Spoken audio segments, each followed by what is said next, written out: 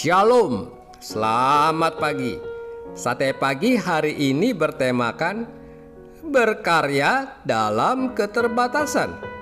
Adapun firman Tuhan terambil dari 2 Korintus pasal 12 ayat 7 sampai dengan 10. Dan supaya aku jangan meninggikan diri karena penyataan-penyataan yang luar biasa itu, maka aku diberi suatu duri di dalam dagingku, yaitu seorang utusan iblis untuk mengocoh aku supaya aku jangan meninggikan diri. Johnny Erickson Tada adalah seorang penulis Kristen penyandang disabilitas. Tada yang lahir pada tahun 1949 di Baltimore, Maryland, pada masa remajanya sangat suka berenang. Dan tanggal 30 Juli 1967 adalah hari yang mengubah hidup Tada.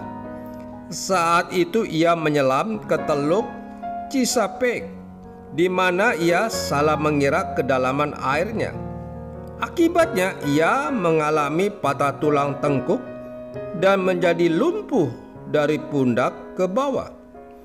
Dan selama dua tahun masa rehabilitasinya, dia menjadi sangat marah, depresi, meragukan Tuhan, bahkan berpikiran untuk bunuh diri.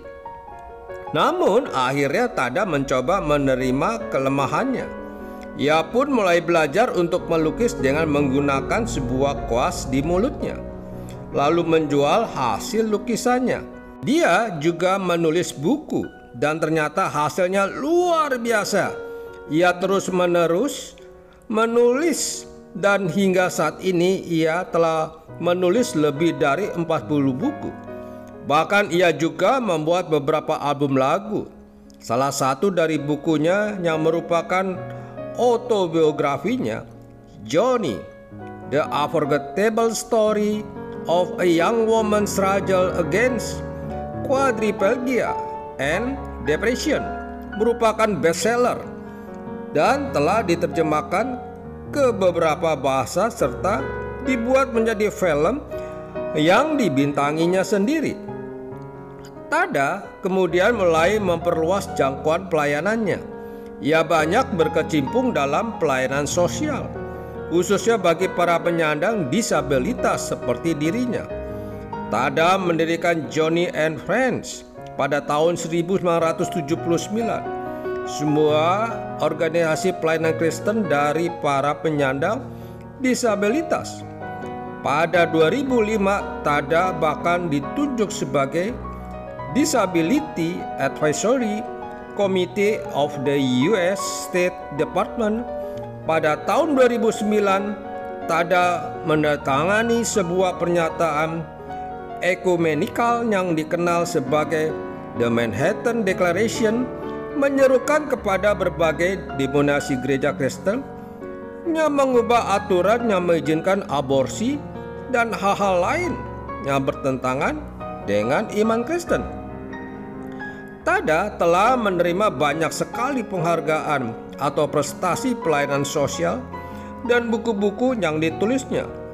Beberapa di antaranya adalah The American Academy of Achievement Golden Place Award, The Courage Award dari The Courage Rehabilitation Center, The Award of Excellence dari The Patricia Neal Rehabilitation Center, The Victory Award dari The Nationality Rehabilitation Hospital, the Golden Boot Award dari The International Bible Society, the Gold Medal Lifetime Achievement Award dari The Evangelical Christian Publisher Association.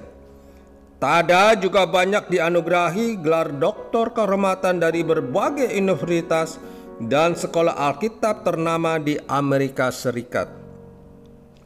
Kerap kali kita berpikir bahwa sebuah masalah menjadi akhir segalanya. Tetapi sesungguhnya di balik itu semua Tuhan telah menyediakan yang terbaik bagi kita. Karena itu, Apa pun yang sedang kita hadapi saat ini, jangan pernah menyerah. Tetaplah berharap kepada Tuhan dan lakukanlah apa yang bisa kita lakukan. Maka Tuhan akan memberkatinya. Amin. Mari kita berdoa. Bapak Surgawi, dalam menghadapi setiap masalah, beriku kekuatan agar aku dapat keluar sebagai pemenang. Dalam nama Tuhan Yesus aku berdoa. Amin.